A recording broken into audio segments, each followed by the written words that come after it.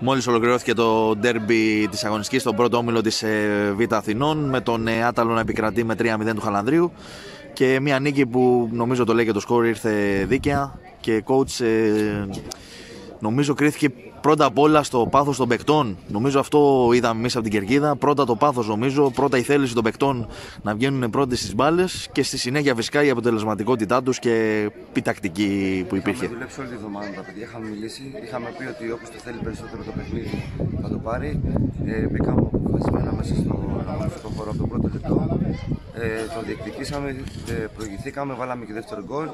Πήγαμε στο ημίχρονο με 2-0, μιλήσαμε με τα παιδιά, είπαμε ότι πρέπει να το διαχειριστούμε. Όταν μας δώσουν ευκαιρίες, γιατί είμαστε πολύ καλοί, η φυσική κατάσταση είναι πολύ καλή, να βάλουμε και τρίτο και τέταρτο θα χρειαστεί. Ε, το καταλάβαν αυτό τα παιδιά. Ε, το διαχειριστήκαμε πάρα πολύ καλά νομίζω και ήρθε το σκορ που ήρθε, χωρίς να κινδυνεύσουμε. Coach, τώρα όλα καλά για εσά. Ε, κερδίσατε σήμερα. Νομίζω ισοφαρίσατε και το σκορ του πρώτου αγώνα, αν θυμάμαι καλά. Σε περίπτωση φυσικά αν υπάρξει ε, ισοβαθμία. Και παράλληλα έχασε και ο Βίρονας. Οπότε πλέον νομίζω είναι μια πολύ καλή αγωνιστική για εσά και νομίζω πλέον δεν τίθεται αμφιβολία ότι όλα κρίνονται από εσά. Πώς θα το διαχειριστείτε λοιπόν τη συνέχεια; Στο χέρι μας, θα έχουμε πολλούς παίκτες και μπορούμε να το διαχειριστούμε, να ξεκουράσουμε κάποια παιδιά και να έρχονται κάποια άλλα παιδιά από τον πάγκο. Ε, είμαστε 4 βαθμούς ε, μπροστά από το δεύτερο, 10 από το τρίτο. Θα κοιτάξουμε να το διαχειριστούμε, να μην χάσουμε βαθμού με στην έδρα μας και βήμα-βήμα, παιχνίδι με παιχνίδι, να κοιτάξουμε να τερματίσουμε πρώτα να πάρουμε τι πρωταθλημανίε. Πολλά συγχαρητήρια στη διετησία και στα παιδιά. Δείξανε πάρα πολύ μεγάλο πάθο. Θέλανε το παιχνίδι αυτό, το δείξαμε και μέσα στο αγωνιστικό χώρο και συνεχίζουμε. Κότσο στο ποδόσφαιρο είναι και στιγμές μέσα στο παιχνίδι. Μπορεί μια στιγμή να αλλάξει τα πάντα. Ε, ήταν αυτή τη στιγμή η χαμένη ευκαιρία του Χαλανδρίου στο 6ο λεπτό και μετά από 10 λεπτά το φάουλ του Βάσου που βρήκε το κοριέ.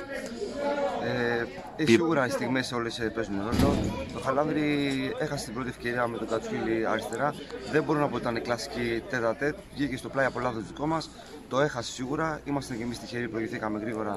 Μπήκε και πολύ ωραίο γκολ του Βάσου, το δεύτερο γκολ απευθείας φάουλ. Μας λύθηκε λίγο το, τα πόδια, λυθήκαν στα παιδιά, έφυγε το άγχος. Σίγουρα όταν μια ομάδα κερδίζει 2-0 έχει λιγότερο άγχος και μπορεί να διαχειριστεί καλύτερα το παιχνίδι.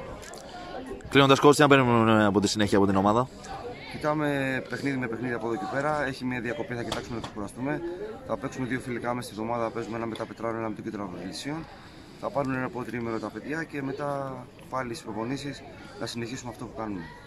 Έρχεται σε καλό σημείο για εσά το ρεπό; Ε, Όπως έρχεται για εμάς, έρχεται και για άλλες ομάδες. Νομίζω πως δεν θα θέλαμε ρεπό να συνεχίσουμε αυτό το σερί που έχουμε γιατί είμαστε καλά αγωνιστικά.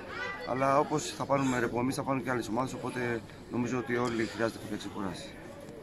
Κότσο, ευχαριστώ πολύ για συγχαρητήρια. Καλά, ευχαριστώ πολύ εγώ.